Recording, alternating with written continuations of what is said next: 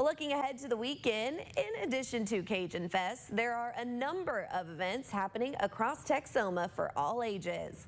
On Saturday morning at 11 o'clock, the public is invited to attend a dedication ceremony at Wichita Falls Regional Airport. To celebrate the life and accomplishments of former Electra resident Jimmy Hudson Culp. Mrs. Culp earned her private pilot's license back in 1929. She was the first woman in Wichita County to do so, the third woman in the state of Texas, and the 39th woman in the United States. She was also the first woman commissioned second lieutenant by the Civil Air Patrol, serving as a courier during World War II.